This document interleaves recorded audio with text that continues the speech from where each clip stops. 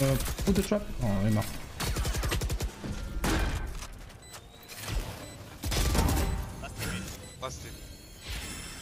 Euh, désormais, une énorme news, une énorme news. Vitality qui a annoncé euh, son arrivée sur Valorant. Donc je vais vous laisser kiffer euh, Neo, pour ceux qui ne savent pas, c'est le CEO, c'est le propriétaire, c'est un des propriétaires, parce qu'ils sont plusieurs, mais c'est un des propriétaires majoritaires de la structure, de l'organisation du club, de Team Vitality. Et donc je vais vous laisser écouter, je vais vous laisser écouter ça, et après je vous donnerai des petits croustilles choco.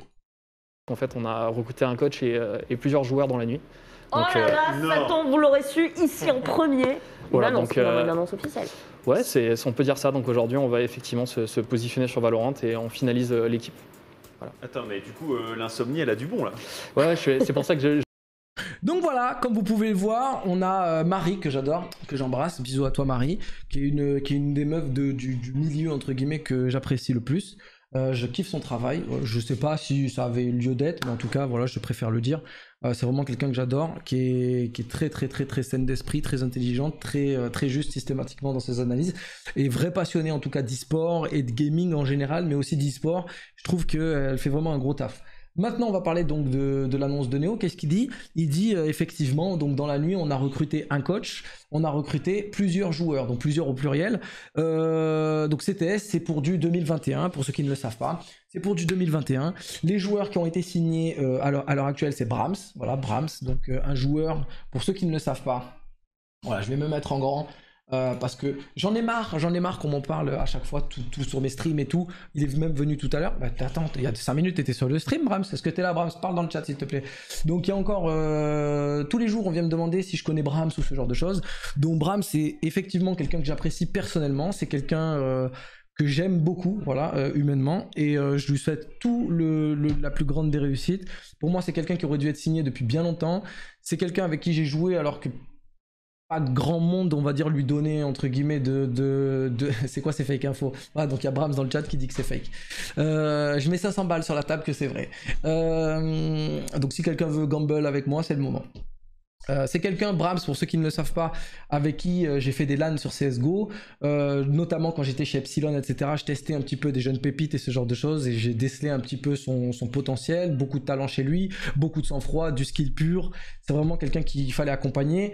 On a eu nos mésententes aussi. C'est quelqu'un qui est très caractériel, qui, qui, qui, qui, qui- est comme ça. J'en profite que tu sois là pour le dire aussi. Mais tu le sais, on a déjà eu des calls au téléphone plusieurs fois. Donc peut-être un peu jeune à ce moment-là. Problèmes aussi euh, personnels euh, à ce moment-là. Une meuf à ce moment-là aussi qui t'a fait tourner la tête. Euh, et donc il n'était pas très réceptif et tout. Donc on a dû, on a dû se séparer entre guillemets parce que bah il écoutait mais pas trop, il écoutait mais pas trop, il écoutait mais pas trop. Donc je t'en supplie, je t'en supplie Brahms, saisis ta chance pour le coup parce que moi je te souhaite que de l'amour et que du bonheur et que de la réussite et que du succès.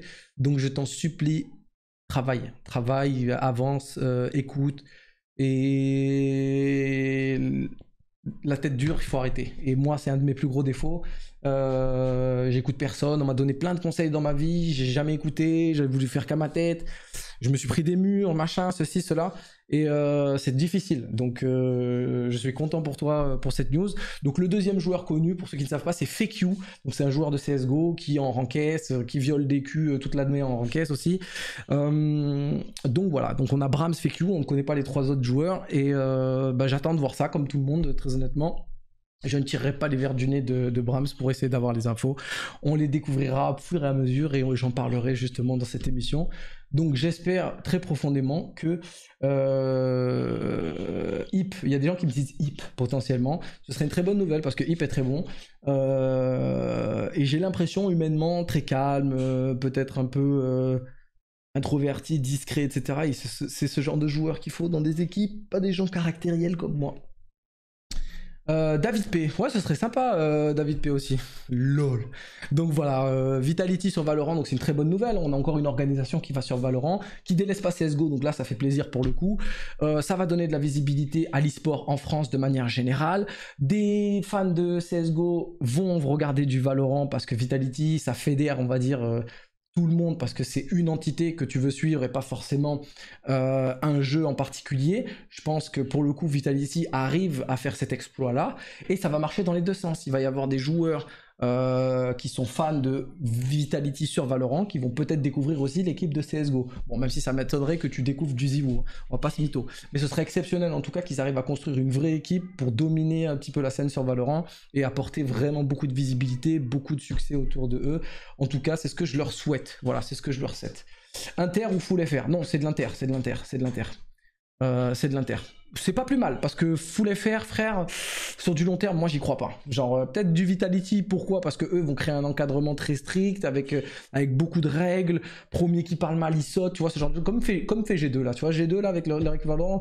Première mauvaise graine, ça dégage. Tu veux, tu veux construire autour d'un univers plutôt sain et ce genre de choses t'es pas au-dessus de l'entité. Aujourd'hui, on arrive sur un jeu, l'e-sport, on est en 2020, il y a des structures qui ont des réputations, qui ont des budgets.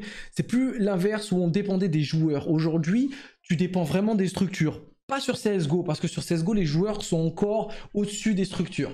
Un Kenyes, il peut faire ce qu'il veut dans une structure, euh, il se fera pas jeter, tu vois. Un device, il peut faire ce qu'il veut, un Zero, il peut faire ce qu'il veut. Heureusement que ce sont pas des, des énormes connards, mais pour le coup, j'espère que tu comprends un peu le principe. Alors que sur Valorant, tu vois, euh, t'arrives chez G2, t'arrives chez chez Vitality, tu peux pas faire le ouf, tu vois, c'est pas des cadors qui arrivent là sur Valorant. En général, c'est des joueurs de CSGO qui sont ont difficilement réussi sur la scène et donc qui préfèrent être au top niveau sur Valorant que, on va dire, un peu mis dans le deuxième, dans le tiers 2, tu ou le troisième truc de, CS.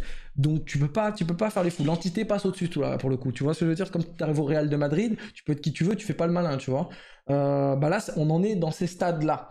Donc c'est super. Euh, donc c'est le seul truc entre guillemets qui peut sauver la, scène française, entre, je trouve, tu vois. C'est en mode là aujourd'hui c'est l'entité Vitality et tu fais pas le malin, tu vois, parce que t'as peur, tu veux sauver ton cul et ce genre de truc. C'est pour ça que là je reparle de David P par exemple.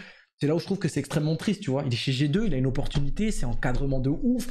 Tu sais que t'es payé à la fin du mois, tu sais que tu peux tripler, quadrupler, quintupler ton salaire si tu, si tu deviens une star de ouf, tu vois, si tu te donnes les moyens de devenir une star, t'as pas besoin de copiner avec tout le monde, de mettre des coups de couteau, de, tu vois, t'as pas besoin, tu travailles et derrière t'as les moyens en fait. Tu vois, ça veut dire? Tu commences avec un salaire plutôt bas et tu sais que t'as le potentiel pour monter, tu vois. Donc tu travailles, tu, tu sors pas de chez toi, tu travailles.